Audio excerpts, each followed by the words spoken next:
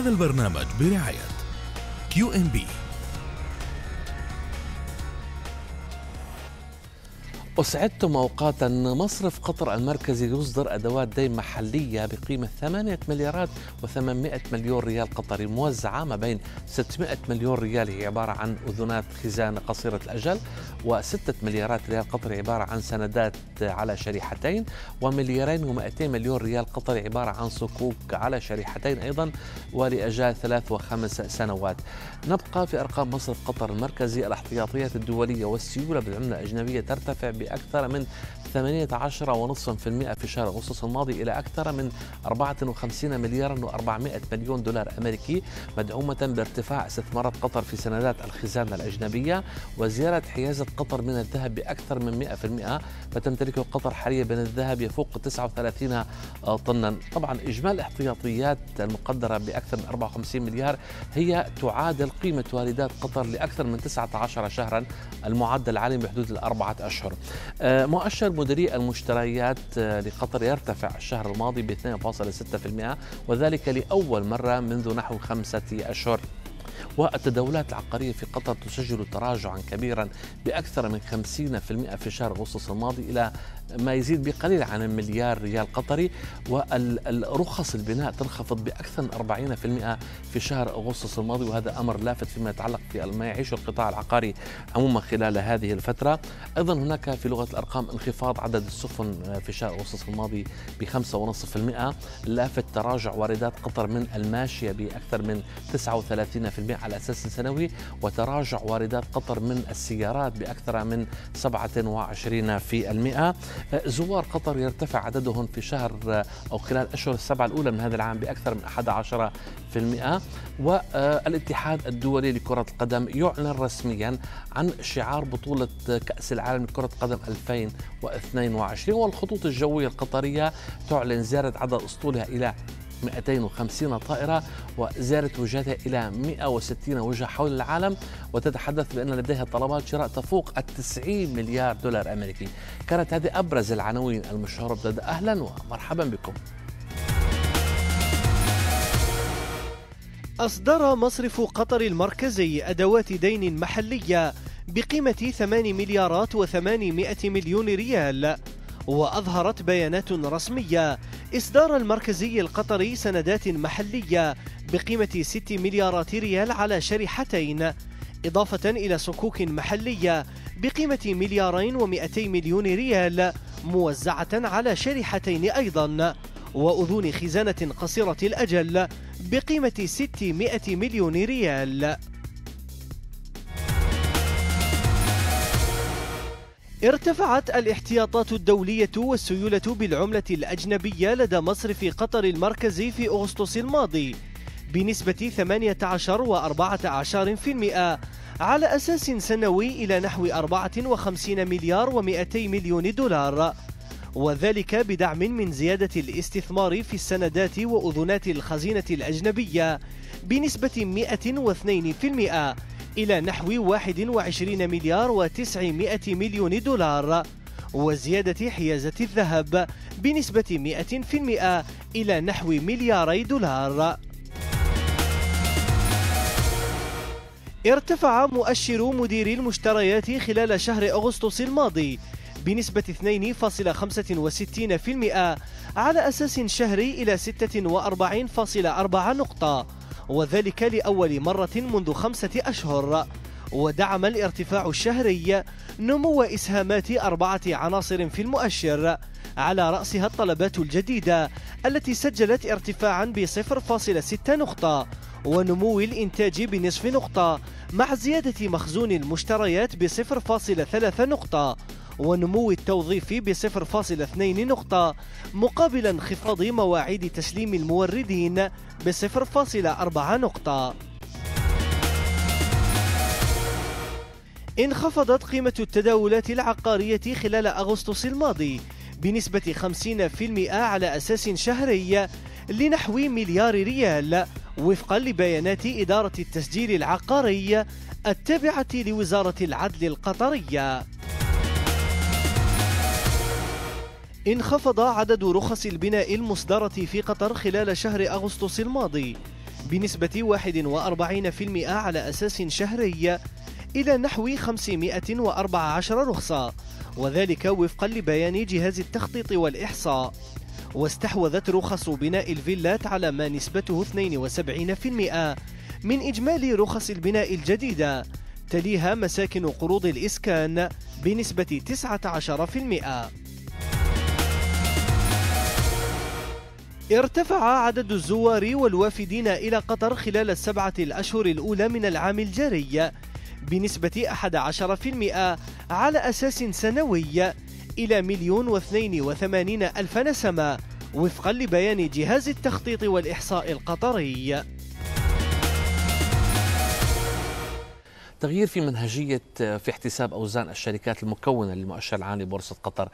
هذا التعديل آه لاحظناه مباشرة في آه المراجعة نصف السنوية للمؤشر القطري الذي تم بموجب إدخال شركة إزدان وشركة قامكو وإخراج شركتي الرعاية الطبية وبنك قطر الأول، إزدان لم تعد بوزنها السابق بأكثر من 11% بل عادت إلى أقل من نصف المئة وذلك بموجب المنهجية الجديدة في احتساب آلية الأوزان في المؤشر العام.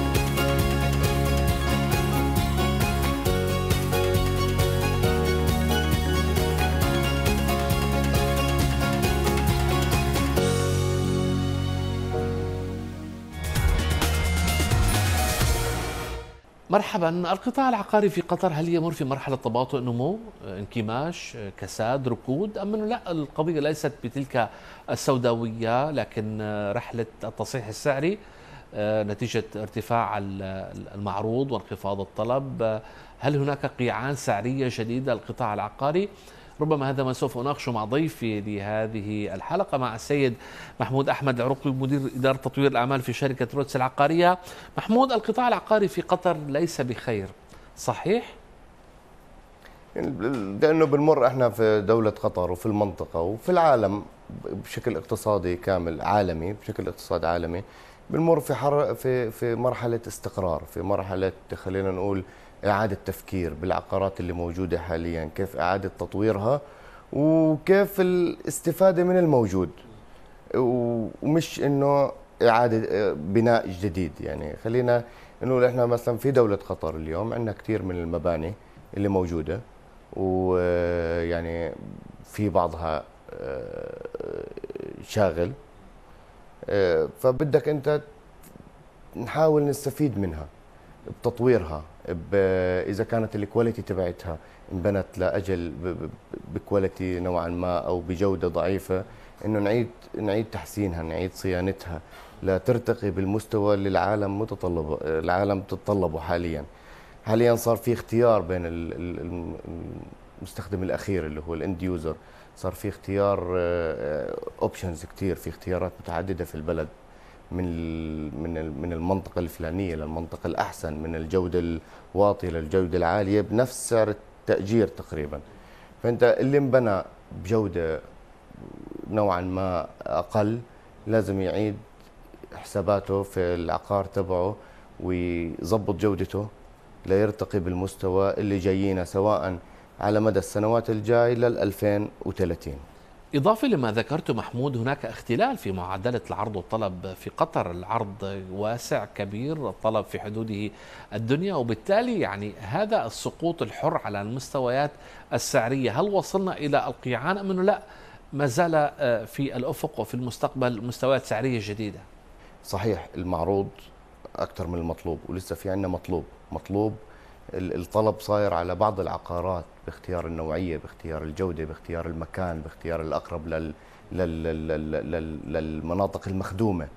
واللي انبنى لسبب معين لسبب مشروع معين لسبب طفرة معينة حاليا بطل مرغوب أو قل العرض عليه. اللي انبنى في أماكن غير مخدومة قل الطلب عليه. غير مخدومة من ناحية اللي هي الخدمات بالكامل من مدارس من محلات تجارية من مولات من من من طرق. صار في طلب أكثر على المناطق اللي وصلت لها الطرق الجديدة اللي عملتها الدولة بالإنفراستراكشر من الطرق المدارية بالريل آه، في عندك آه، الريل اشتغل في عندك طريق المجد طريق الصباح في عندك آه، شارع الخور الساحلي هدول كلهم طرق جديدة فتحت وصار في جنبها مناطق سكنية والأكسس للمناطق الثانية صار أسهل من بعض المناطق اللي هي في قلب الدوحة اللي صارت بتشكل نوعا ما زحمة وعبء صحيح إنها مخدومة بس ستيل صار في الطلعة والدخلة على بعض المناطق أصعب من مناطق الجديدة اللي طالعة. فصار في طلب آه، على لتحسين الوضع. لتحسين وضع سكني لتحسين وضع آه، آه، الشغل مثلا. في نقل من أماكن بعيدة كمكاتب لأماكن في قلب الدوحة أو أماكن في الدفنة أو في منطقة الوسيل. يعني صار في تحسين لوضع البيوت كمان. بدل ما في عالم كانت ساكنة فرضا بالمناطق الجنوبية بسبب الرخص صار فيها هلأ تسكن بالمناطق الشمالية جنب الخدمات وجنب اليوتيليتيز وجنب المولات. وجنب الشغل وجنب المدارس بسعر نفس السعر أو أرخص من قبل. بلغة السوق العقارية المتداولة في قطر الحديث بأن القطاع العقاري بمر بمرحلة ركود. أنت مع هذا التوصيف الركود أم أنه لا هو تباطؤ في النمو أو ربما تصحيح على المستويات السعرية؟ ولكن في المقابل محمود بلغة الأرقام هناك تراجع آه، في حجم التداولات العقارية بأكثر من 50% الشهر الماضي. وأيضا في أحدث الأرقام هناك تراجع على مستوى آه، الرخص العقارية بأكثر بحدود 40% كيف نفهم هذه الأرقام في سياق ما ذكرته؟ صحيح هذا الكلام. وإحنا ما عندنا تطوير لمشاريع كبرى لأنه إحنا اوريدي عندنا مشاريع كبرى لازم نستغلها. يعني إحنا لازم نفكر كيف نستغل هاي المشاريع اللي موجودة لأنه مش من مصلحتنا ولا من مصلحة البلد إنه بعض المشاريع الكبيرة تكون فاضية زي بعض المولات اللي اللي اللي, اللي فيها نسبة كبيرة من المحلات صارت تسكر. إحنا هاي المشاريع لازم يكون في أفكار جديدة لهي المحلات لازم يكون في شيء يخدم الشغلات تنبنى للمنفعة العامة شغلات تنبنى للترفيه يكون للي موجودين. يكون في عندك أنت مش بس نحص يعني إحنا اكتفينا من المباني ال high rise building اكتفينا من العمارات من من المكاتب. صار في عندنا كمية كبيرة من المكاتب بأرخص بأسعار معقولة يعني. صار في عندنا كمية مباني لازم نفكر كيف بدنا نستغلها بأفكار غير عن آه، آه، مثلا مكتب عادي أو محلات زي مطعم أو كوفي شوب أو لازم يكون في عندنا أفكار أجدد اللي تساعد على جلب العالم لهي الأماكن. بحسب أرقام مصرف قطر المركزي لشهر أغسطس الماضي حجم القروض العقارية في قطر يقارب ال 155 مليار. طبعا من حصر على القروض العقارية كان يبني على عائد استثماري لا يقل عن 8 إلى 7% الآن الصورة تغيرت ودخلنا في مرحلة إعادة جدولة. في ظل هذا السيناريو هذا السلوك من المتضرر؟ البنوك التي تقوم بإعادة جدولة أم أنه المطور العقار الذي يبحث اليوم عن عن مستثمر؟ يعني هي طايلة الطرفين يعني اللي اللي نزل الإيجارات واللي واللي البنك سمح له بإعادة جدولة صار في نسبة وتناسب بينه وبين البنك بإعادة جدولة ورفع النسب. وهذا برضه بيؤدي حاليا لصعوبة القروض العقارية المستقبلية لأنه صار القرض العقاري بالفايت البنك بسبب إعادة الجدولة صار البناء والتشييد والتأجير والاستثمار بالعقار من بظل الأسعار بعض الأسعار السائدة حاليا. يعني صار في صعب شوي لتحقيق الربح اللي مطلوب محمود أحمد العروقي مدير تطوير الأعمال في شركة روتس. شكرا جزيلا لك. بحسب أرقام شركة موانئ قطر هناك تراجع في عدد السفن بنسبة 5.4% في شهر أغسطس الماضي. أيضا تراجع في حجم البضائع تراجع بنسبة الواردات السيارات بأكثر من 27% على أساس سنوي. وتراجع أيضا فيما يتعلق بالماشية بنسب متفاوتة ما بين الشهري والسنوي بنسبة ما بين 30 إلى 39%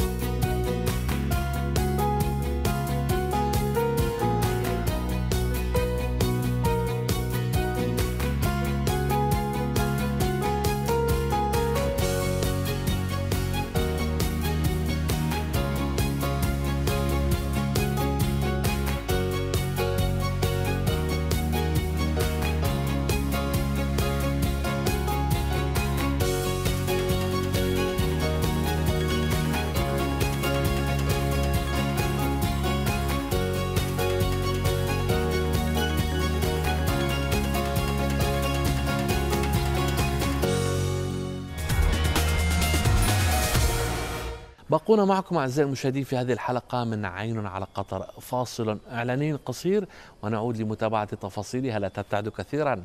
ابقوا معنا.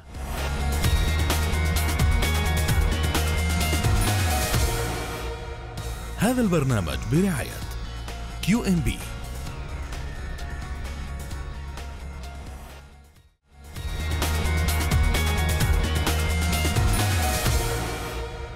هذا البرنامج برعاية Q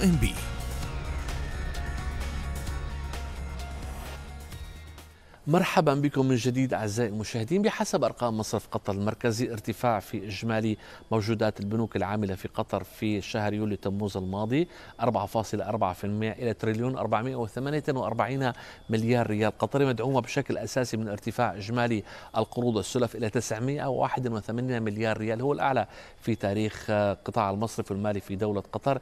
كان لافتا أيضا هناك تراجع في إجمالي الودائع القطاع العام والقروض القطاع العام بنسب متفاوتة ما بين 13 إلى 9% على التوالي وارتفاع ودائع غير المقيمين بنسبة 23%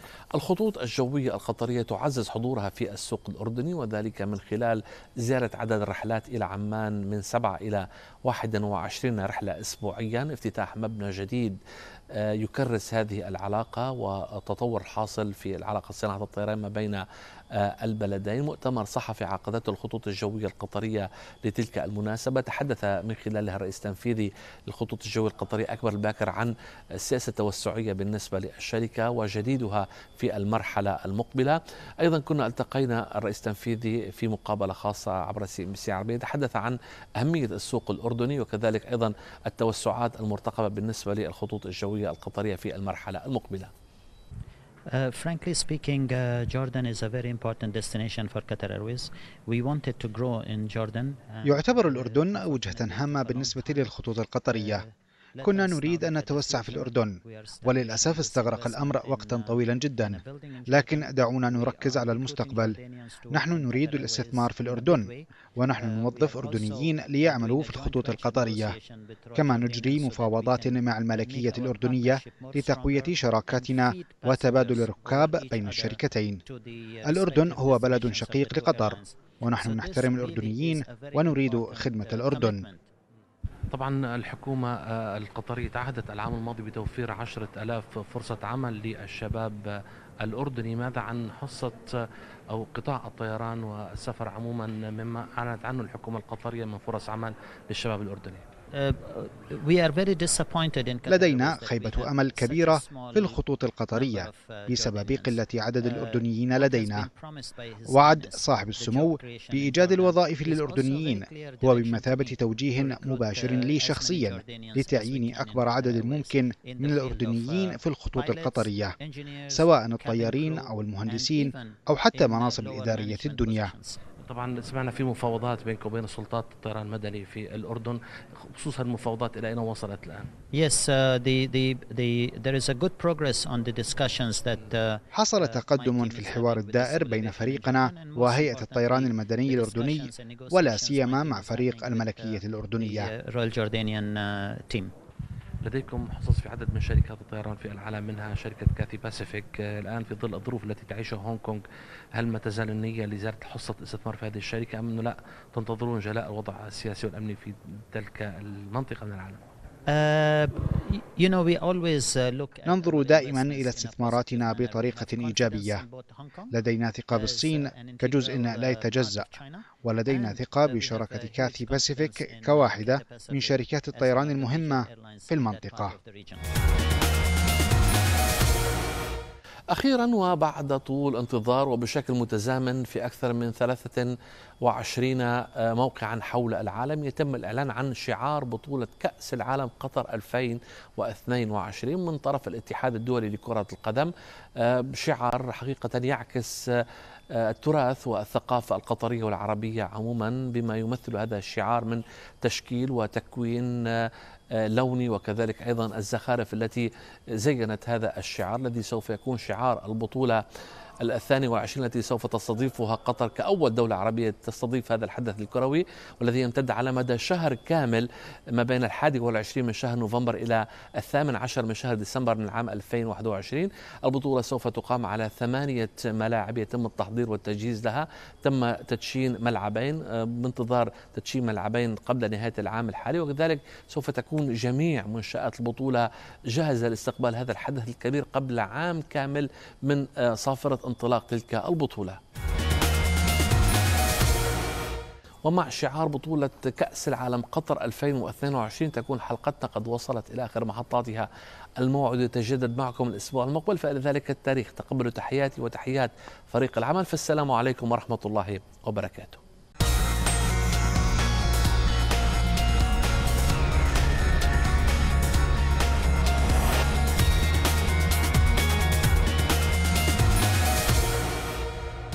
هذا البرنامج برعاية كيو ام بي